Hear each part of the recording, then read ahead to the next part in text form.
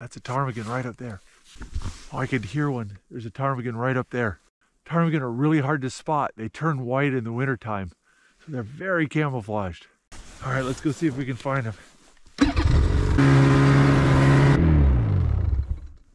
I can hear the ptarmigan.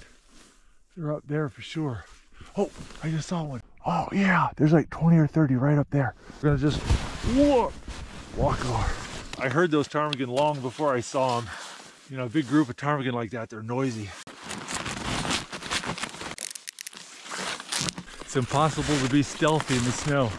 They make so much noise.